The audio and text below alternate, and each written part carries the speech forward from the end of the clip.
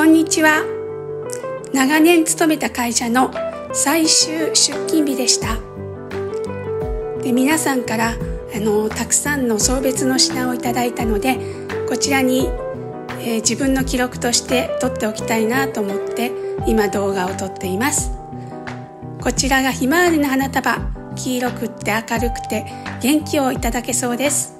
そしてピンクの可憐な花束。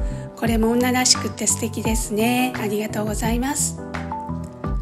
そしてウェッジウッドのこんな高級なコーヒーカップをいただいてしまいました。ありがとうございます。コーヒーもいただきました。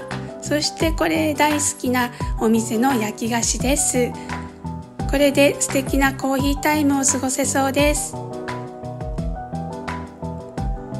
それから左側は、えー、素敵なねストールですね。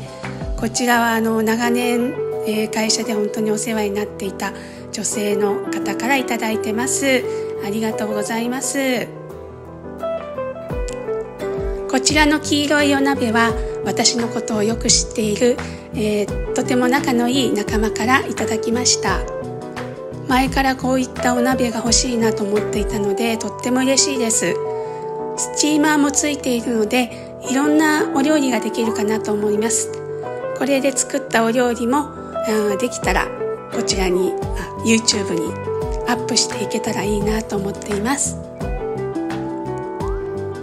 形も可愛いし色も黄色でなんか元気もらえそうです。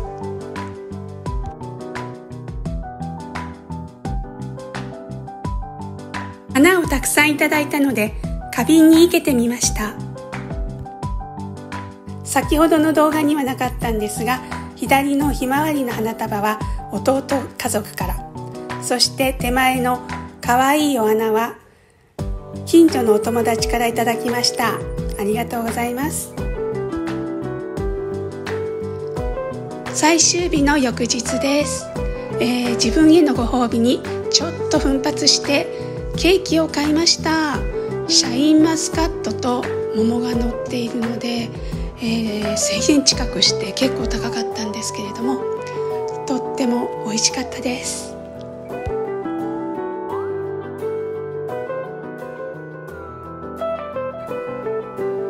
えー、お花の方が、えー、少しずつこう弱ってきたので生け替えてみました。